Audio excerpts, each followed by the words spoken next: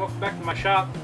Today we're going to start a new project. Uh, we've got this, uh, it's an antique bench uh, that I got from a customer and they, uh, they've taken the, the bench part here, the upholster part out uh, to get uh, reupholstered by another company in town and they, they gave me the, the bench to repair.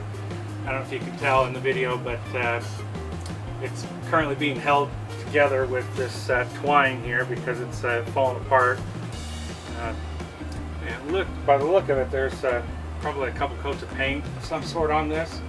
And uh, the customer would like it uh, taken back down to bare wood and potentially stained or depending on what the wood looks like, we may just go with a clear coat on it. So start by taking all this twine off of here.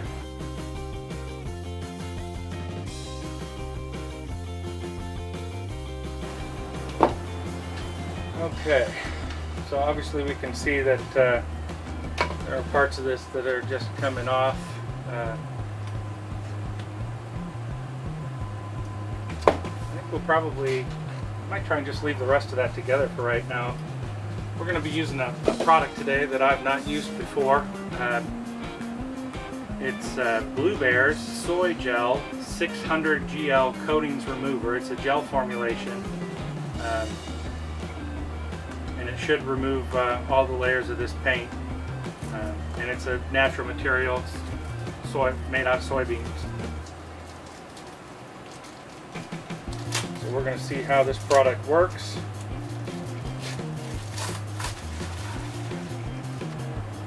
According to the label, it says uh, Blue Bear 600 GL effectively removes multiple layers of topical sealers, acrylics, enamels, urethane, latex, some epoxies, and other single component coatings. And again, it's made with uh, soybeans. Let's see. Well, ah, of course, there's an extra seal. It definitely, de definitely doesn't smell much.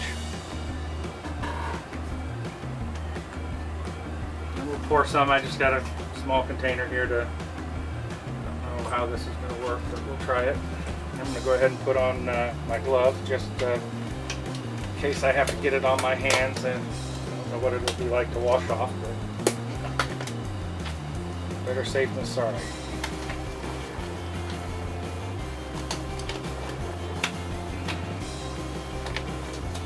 Oh, let's look at one of it doesn't indicate. That would be one nice thing to have on your packaging. How long you let this stuff sit on here? Basically it just says put this stuff on and then use a scraper to check to see when it's softened all the way down to the surface. And if it's not, then it says to wait. Try it again. Alright.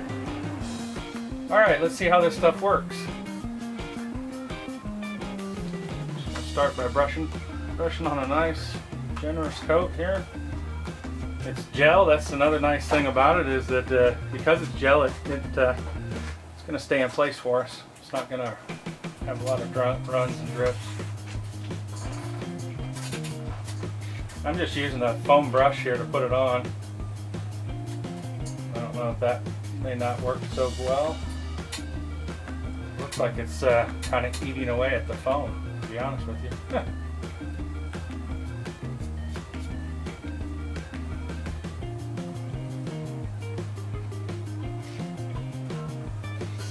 yeah, it, it is actually disintegrating the, the foam brush. We're gonna set that down. We're gonna get a different kind of brush. All right, we got a different brush. Just this is just your common chip brush, cheap brushes from uh, Menards or other big box stores you can get. I, I think I actually may have picked these up at uh, Harbor Freight.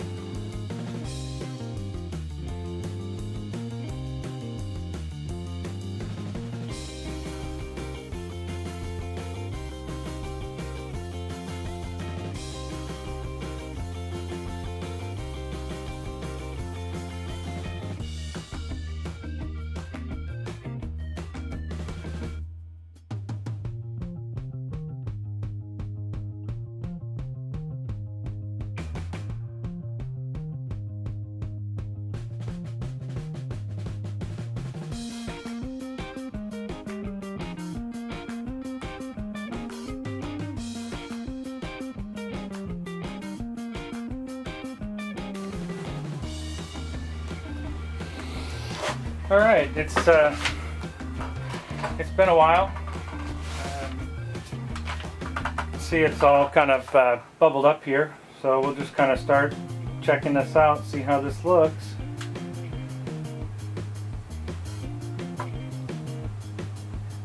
Sure does take it off really nicely.